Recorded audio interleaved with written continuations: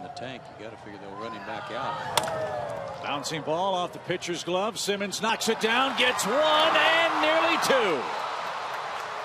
What a play by Simmons and Uggla to get the forced second. That's one six four to get Buck and Nieuwenhuis aboard safely. Boy, they've done some juggling out there tonight between the two of them, haven't they?